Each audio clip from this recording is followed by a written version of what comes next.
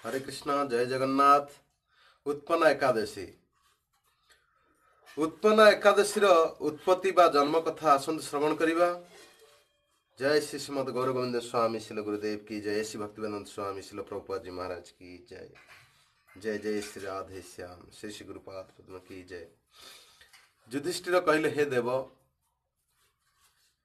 ଗୌଣ ଚନ୍ଦ୍ର ବା ଗ୍ରହାୟଣର ପୁଣ୍ୟପଦା କୃଷ୍ଣ ଏକାଦଶୀ କାହିଁକି ଉତ୍ପନ୍ନ ନାମରେ କଥିତ ହେଲା ଏବଂ କେଉଁଥିପାଇଁ ସେ ପବିତ୍ର ଏବଂ ଦେବତାମାନଙ୍କର ପ୍ରିୟ। ଏହା ଜାଣିବାକୁ ମୋର କୌତୂହଳ ଜନ୍ମି ଅଛି। ଆପଣ କୃପାପୂର୍ବକ ମୋତେ ଏହାର ବର୍ଣ୍ଣନା କରନ୍ତୁ। ଶ୍ରୀ ଭଗବାନ କହିଲେ ହେ ପାର୍ଥ ପୂର୍ବ କାଳରେ ସତ୍ୟ ଯୁଗରେ ମର ନାମକ ଏକ ଦାନବ ବା ଅସୁର ଥିଲା। ସେ ଅତି ଅଦ୍ଭୁତ ଆକୃଷ୍ଟି ବିଶିଷ୍ଟ ଏବଂ କୁଟିଳ ସ୍ୱଭାବ ସମ୍ପନ୍ନ ଏବଂ ଦେବତାମାନଙ୍କୁ ଭାରି ଡରାଉଥିଲା ବା ଦେବତାମାନଙ୍କ ପାଇଁ ଭୀତିପ୍ରଦ ଥିଲା। ଯୁଦ୍ଧରେ ଦେବତା ବୃନ୍ଦ ଓ ସ୍ୱର୍ଗର ରାଜା ଇନ୍ଦ୍ରଙ୍କ ପର୍ଯ୍ୟନ୍ତ ସେ ସମସ୍ତଙ୍କୁ ପରାଜିତ କରିଥିଲା। ଯମଙ୍କ ସଦୃଶ ସେହି ଦୁରାତ୍ମା ଅସୁର ସ୍ୱର୍ଗର ଦେବତାମାନଙ୍କୁ ବିତାଡ଼ିତ କରିଥିଲା। ଏଣୁ ସେମାନେ ମର୍ତ୍ତ୍ୟ ଲୋକରେ ବିଚରଣ କରୁଥିଲେ। ସର୍ବଦା ଶଙ୍କିତ ଚିତ୍ତ ଭୟ ବିହୋଳ ଇନ୍ଦ୍ର ପ୍ରମୁଖ ଦେବତାଗଣ ସେତେବେଳେ ମହେଶ୍ୱରଙ୍କ ନିକଟକୁ ଗମନ ପୂର୍ବକ ନିଜର ସମସ୍ତ ଦୁଃଖ ଭଗବାନ ଶିବଙ୍କ ପାଖରେ ନିବେଦନ କଲେ। ଇନ୍ଦ୍ର କହିଲେ ହେ ମହେଶ୍ୱର! ଦେବଗଣ ମର କର୍ତ୍ତୃକ ବିତାଡ଼ିତ ହୋଇ ସ୍ୱର୍ଗ ପରିତ୍ୟାଗ କରି ମର୍ତ୍ତ୍ୟ ଲୋକରେ ଆଶ୍ରୟ ଗ୍ରହଣ କରିଅଛନ୍ତି।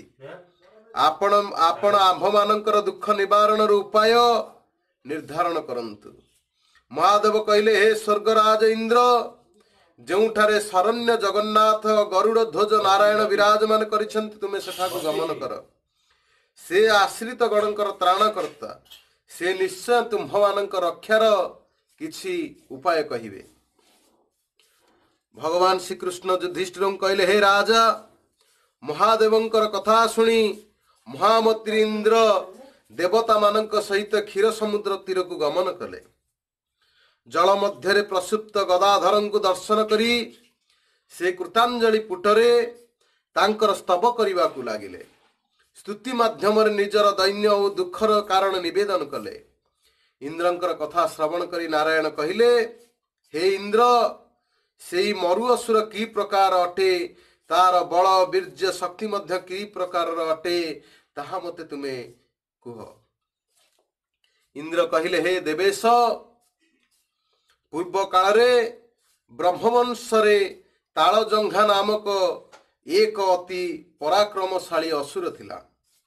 ତାର ପୁତ୍ର ମୁର ନାମକ ଅସୁର ଅତି ବଳଶାଳୀ ଅତି ଭୟଙ୍କର ଓ ଦେବତାଗଣଙ୍କ ପ୍ରତି ମଧ୍ୟ ଭୀତି ଉତ୍ପନ୍ନକାରୀ ଥିଲା ସେ ଚନ୍ଦ୍ରାବତୀ ନାମକ ଏକ ପୁରରେ ବାସ କରେ ସ୍ୱର୍ଗରୁ ଆମ୍ଭମାନଙ୍କୁ ବିତାଡ଼ିତ କରି ସେ ସ୍ୱ ଜାତି ମଧ୍ୟରୁ କାହାକୁ ରାଜା ଏବଂ କାହାକୁ ଅନ୍ୟାନ୍ୟ ଦିଗପାଳ ରୂପେ ଅଧିଷ୍ଠିତ କରି ଦେବଲୋକକୁ ସମ୍ପୂର୍ଣ୍ଣ ଭାବରେ ଅଧିକାର କରି ରହିଅଛି ତାର ପ୍ରବଳ ପ୍ରତାପରେ ଆମ୍ଭେମାନେ ମର୍ତ୍ତ୍ୟରେ ବିଚରଣ କରୁଛୁ ଇନ୍ଦ୍ରଙ୍କର କଥା ଶୁଣି ନାରାୟଣ କୁପବିଷ୍ଟ ହେଲେ ଏବଂ ଦେବତାଗଣଙ୍କର ଭୟ ପ୍ରଦ ଏହି ଦୁଷ୍ଟ ଦୈତ୍ୟକୁ ବଧ କରିବି ଏହା କହି ଦେବତାଗଣଙ୍କ ସହିତ ଚନ୍ଦ୍ରାବତୀ ପୁରକୁ ଗମନ କଲେ ସେହି ଦୈତ୍ୟରାଜ ନାରାୟଣଙ୍କୁ ଦର୍ଶନ କରି ପୂର୍ଣ୍ଣ ପୂର୍ଣ୍ଣ ଗର୍ଜନ କରିବାକୁ ଲାଗିଲା ଯୁଦ୍ଧରେ ଦେବତାଗଣ ପରାସ୍ତ ହୋଇ ଦଶ ଦିଗକୁ ପଳାୟନ କଲେ ସେତେବେଳେ ଯୁଦ୍ଧ କ୍ଷେତ୍ରରେ ନାରାୟଣଙ୍କୁ ଏକାକୀ ରହିଥିବାର ଦେଖି ସେଇ ଅସୁର ଠିଆ ହୁଅ ଠିଆ ହୁଅ କହିବାକୁ ଲାଗିଲା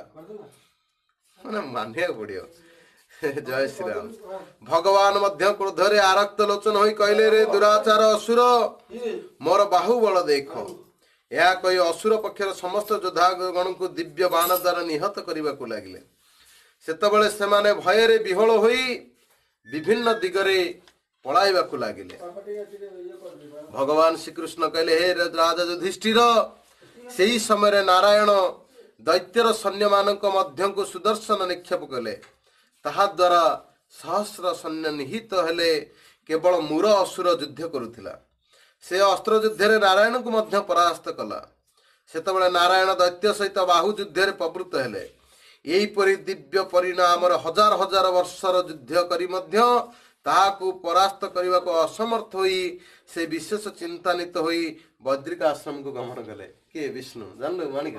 ବହୁତ ସୁନ୍ଦର ଚରିତ୍ର। ଆହା ବହୁତ ବଢିଆ ଲାଗିଲା। ସେଠାକାର ଏକ ଦ୍ୱାରରେ ବିଶିଷ୍ଟ ଦ୍ୱାଦଶ ଯୋଜନ ବିସ୍ତୃତ ସିଂହାବତୀ ନାମରେ ଗୋଟିଏ ଗୁମ୍ଫା ଅଛି। ଭଗବାନ ବିଷ୍ଣୁ ସେହି ଗୁମ୍ଫା ମଧ୍ୟରେ ଶୟନ କଲେ। ସେହି ଦୈତ୍ୟ ମଧ୍ୟ ତାଙ୍କର ପଶ୍ଚାତ ଧାବନ କରି ଗୁମ୍ଫା ମଧ୍ୟରେ ପ୍ରବେଶ କଲା। ଏବଂ ବିଷ୍ଣୁ ନିଦ୍ରା ଯାଇଛନ୍ତି ବୋଲି ମନେ କଲା। ସେ ଏଥିରେ ଅତିଶୟ ଆନନ୍ଦିତ ହେଲା ଏବଂ ଭାବିବାକୁ ଲାଗିଲା ଯେ ମୋ ସହିତ ଯୁଦ୍ଧରେ ପରାସ୍ତ ହୋଇ ଏଠାରେ ସେ ଗୋପନରେ ଶୋଇ ରହିଛି। ମୁଁ ଅବଶ୍ୟ ଏହି ଦୈତ୍ୟର ଅରି ବା ଶତ୍ରୁକୁ ବଦ୍ଧ କରିବି। ହେ ଯୁଧିଷ୍ଠିର ଅସୁରର ଏହିପରି ଚିନ୍ତା ସଙ୍ଗେ ସଙ୍ଗେ ଶ୍ରୀ ବିଷ୍ଣୁଙ୍କ ଶରୀରରୁ ଗୋଟିଏ କନ୍ୟା ଜାତ ହେଲା। ଏହି କନ୍ୟାଟି ହେଲା ଉତ୍ପନ୍ନ ଏକାଦଶୀ। ସେ ରୂପବତୀ ସୌଭାଗ୍ୟଶାଳିନୀ ଦିବ୍ୟ ଅସ୍ତ୍ରଶସ୍ତ୍ର ଧାରଣୀ ବିଷ୍ଣୁ ତେଜ ସମ୍ଭୂତା ବୋଲି ସେ ମହାପରାକ୍ରମଶାଳିନୀ ଥିଲା ଦାନବରାଜ ସେହି ସ୍ତ୍ରୀ ରୂପୀ ଦେବୀଙ୍କ ସହିତ ତୁମୁଳ ଯୁଦ୍ଧରେ ପ୍ରବୃତ୍ତ ହେଲା କିଛି ସମୟ ଯୁଦ୍ଧ ପରେ ଦେବୀଙ୍କର ହୁଙ୍କାର ଦ୍ୱାରା ଅସୁର ଭସ୍ମୀଭୂତ ହୋଇଗଲା ଏହାପରେ ବିଷ୍ଣୁ ଜାଗ୍ରତ ହୋଇ ସେହି ଭସ୍ମୀଭୂତ ଦାନବକୁ ଦେଖି ବିସ୍ମୟାଭିଷ୍ଟ ହେଲେ। ବିଷ୍ଣୁ କହିଲେ ହେ ପରାକ୍ରାନ୍ତ ଉଗ୍ରମୂର୍ତ୍ତି ମୋର ପରମ ଶତ୍ରୁ ଏହି ମୂର ଦାନବକୁ କିଏ ବଧ କଲା? ମୋ ପ୍ରତି କରୁଣାବଶତ ଯେ ଏହାଙ୍କୁ ହତ୍ୟା କରିଛନ୍ତି ସେ ନିଶ୍ଚୟ ପ୍ରଶଂସନୀୟ କାର୍ଯ୍ୟ କରିଛନ୍ତି। ସେହି କନ୍ୟା କହିଲେ ଦେବତା ଗାନ୍ଧର୍ବ ଯକ୍ଷ ଉରଗ ରାକ୍ଷାସଗଣ ସହ ଇନ୍ଦ୍ରକୁ ଏହି ଦାନବ ଜୟ କରି ସ୍ୱର୍ଗରୁ ବିତାଡ଼ିତ କରିଅଛି। ସମ୍ପ୍ରତି ମୁଁ ଦେଖିଲି ଯେ ସୁସୁକ୍ତି ଭଗବାନ ଶ୍ରୀହରିଙ୍କ ପଛରେ ଧାଇଁ ଧାଇଁ ଏଠାକୁ ଆସିଛି। ସେ ତ୍ରିଲୋକ୍ୟ ସଂହାର କରିବ ବୋଲି ଭାବି ମୁଁ ତାହାକୁ ବଦ୍ଧ କରିଅଛି। କନ୍ୟାର କଥା ଶୁଣି ବିଷ୍ଣୁ କହିଲେ ମୁଁ ଯାହା ସହିତ ଯୁଦ୍ଧରେ ପରାସ୍ତ ହୋଇଛି ତୁମେ କିପରି ତାକୁ ବଦ୍ଧ କଲ? ଏକାଦଶୀ ନାମକ ସେହି କନ୍ୟା କହିଲା ହେ ପ୍ରଭୁ ଆପଣଙ୍କ ଅନୁଗ୍ରହରୁ ମୁଁ ହିଁ ତାକୁ ବଦ୍ଧ କରିବାକୁ ସମର୍ଥ ହୋଇଛି।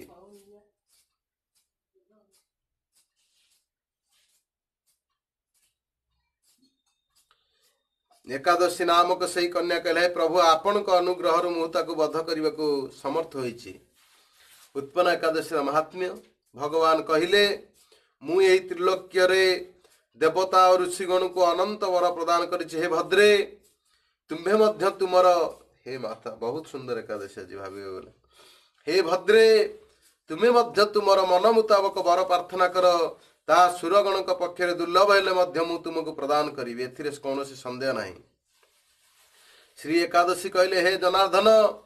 ଆପଣ ଯଦି ମୋ ଉପରେ ସନ୍ତୁଷ୍ଟ ହୋଇଛନ୍ତି ତାହେଲେ ତ୍ରିସତ୍ୟ ପ୍ରତିଜ୍ଞା କରି କୁହନ୍ତୁ ମୁଁ ନିଶ୍ଚୟ ବର ପ୍ରାର୍ଥନା କରିବି। ଭଗବାନ କହିଲେ ତୁମ ନିକଟରେ ମୁଁ ତ୍ରିସତ୍ୟ କରୁଛି ପାର୍ଥିବ ବର ଅବଶ୍ୟ ମୁଁ ତୁମକୁ ପ୍ରଦାନ କରିବି ଏଥିରେ କିଛି ଅନ୍ୟଥା ହେବ ନାହିଁ। ଏକାଦଶୀ କହିଲେ ହେ ଦେବେଶ ତ୍ରିଭୁବନ ମଧ୍ୟରେ ଚତୁର୍ଦିଗ ବ୍ୟାପୀ ଚତୁର୍ଯୁଗ ବ୍ୟାପୀ ସମସ୍ତ ତୀର୍ଥ ସ୍ଥାନରେ ମୋର ବୈଶିଷ୍ଟ୍ୟ ଏପରି ସ୍ଥାପନ କରନ୍ତୁ ଯଦ୍ୱାରା ମୁଁ ସର୍ବପ୍ରଧାନ ଏବଂ ସର୍ବବିଘ୍ନ ନାଶିନୀ ସର୍ବଦାୟିନୀ ରୂପେ ଆପଣଙ୍କ ଅନୁଗ୍ରହରୁ ପରମ ପୂଜ୍ୟ ହୋଇପାରେ। ହେ ଜନାର୍ଦ୍ଦନ ଆପଣଙ୍କ ପ୍ରତି ସର୍ବଦା ଭକ୍ତିବଶତ ଯେଉଁମାନେ ସଦା ସହକାରେ ମୋର ଅର୍ଥାତ୍ ଉତ୍ପନ୍ନ ଏକାଦଶୀରେ ଉପବାସ କରିବେ ସେମାନଙ୍କର ସର୍ବସିଦ୍ଧି ଲାଭ ହେବ ଏବଂ ଏହି ବର ମୋତେ ପ୍ରଦାନ କରନ୍ତୁ ତାହେଲେ ମୁଁ ସନ୍ତୁଷ୍ଟ ହେବି। ଯେଉଁ ବ୍ୟକ୍ତି ନିରନ୍ନ ଉପବାସ କିମ୍ବା ନକ୍ତ ଓ ଏକଭୁକ୍ତ ରୂପକ ବ୍ରତ ପାଳନ କରିବେ ତାଙ୍କର ଧନ ଧର୍ମ ଓ ମୁଖ୍ୟ ଲାଭ ହେବ। ଏହି ବର ମୋତେ ପ୍ରଦାନ କରନ୍ତୁ। ବିଷ୍ଣୁ କହିଲେ ହେ କଲ୍ୟାଣୀ ତୁମେ ଯେଉଁ ବର ପ୍ରାର୍ଥନା କରିଛ ତୁମର ବ୍ରତ ପାଳନକାରୀ ସେ ସମସ୍ତ କୃପା ହିଁ ଲାଭ କରିବେ। ତୁମର ତୁମେ ତାର ସକଳ ମନବାସନା ପୂର୍ଣ୍ଣ କରିବେ ଏଥିରେ କିଛି ସଂଶୟ ନାହିଁ।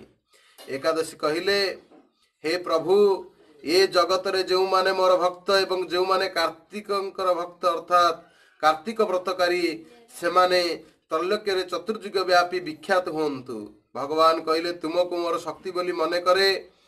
ତେଣୁ ତୁମର ବ୍ରତ ଆଚରଣକାରୀ ସମସ୍ତେ ମୋର ପୂଜା କରିବେ ପୂଜା କରିବେ। ଏହା ଫଳରେ ସେମାନେ ମୁଖ୍ୟ ପ୍ରାପ୍ତି ହେବେ। ତୃତୀୟ ଅଷ୍ଟମୀ ଏବଂ ନବମୀ ଚତୁର୍ଦ୍ଦଶୀ ଏବଂ ବିଶେଷତଃ ଏକାଦଶୀ ସ୍ଥିତିରେ ହରିପ୍ରିୟା ନାମରେ ବିଖ୍ୟାତ। ତୁମେ ବ୍ରତ ପାଳନକାରୀ ଶତ୍ରୁ ବିନାଶ ପରମା ଗତିଦାନ ଏବଂ ସର୍ବସିଦ୍ଧେଶ୍ୱର ପ୍ରଦାନ କରିବାକୁ ସମର୍ଥ ହେବ। ଶ୍ରୀକୃଷ୍ଣ କହିଲେ ହେ କୁନ୍ତି ନଦନ ନନ୍ଦନ ବିଷ୍ଣୁ ଉତ୍ପନ୍ନ ଏକାଦଶୀଙ୍କୁ ତ୍ରିସତ୍ୟ ପୂର୍ବକ ବରଦାନ କରି ଅନ୍ତର୍ନିହିତ ହେଲେ ସମସ୍ତ ବ୍ରତକାରୀ ଦିବାରାତ୍ର ଭକ୍ତିପରାୟଣ ହେଲେ ଏହି ଉତ୍ପନ୍ନ ଏକାଦଶୀର ଉତ୍ପତ୍ତି କଥା ଶ୍ରବଣ କରିବେ। ଜୟ ପବିତ୍ର ଉତ୍ପନ୍ନ ଏକାଦଶୀ ତିଥି ମହାମହୋତ୍ସବ କି ଜୟ। ଚୈତନ୍ୟ ଚନ୍ଦ୍ର ଦାସ ସ୍ୱାମୀ ଶିଲ ଗୁରୁ ମହାରାଜ କି ଜୟ।